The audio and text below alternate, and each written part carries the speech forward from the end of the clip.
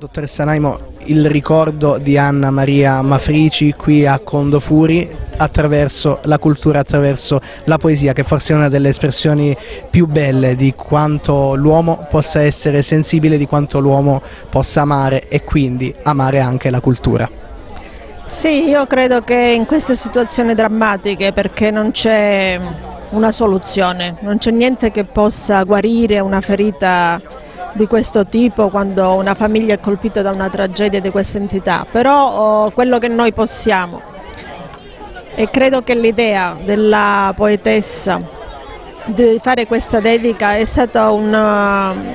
veramente eh, un qualcosa degno di grande sensibilità perché il ricordo proprio di questa ragazza che sarà eterno cioè in questo libro, quindi ricordare attraverso il libro, attraverso gli, poi una serie di poesie, le poesie che allietano sempre l'animo, quindi il nome di questa ragazza, il ricordo che si fa strada attraverso la poesia, credo che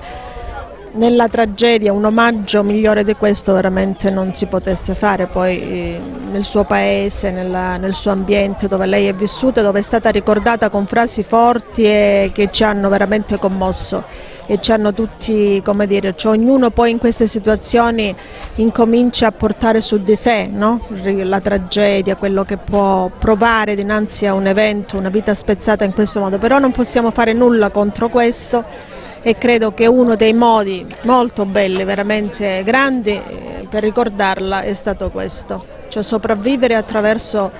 le poesie, attraverso eh, le poesie dove l'autrice ha dato qualcosa di sé, quindi è alto come, eh, come dedica, come, eh, è grande diciamo, il valore della, eh, della dedica che ha fatto. Ecco.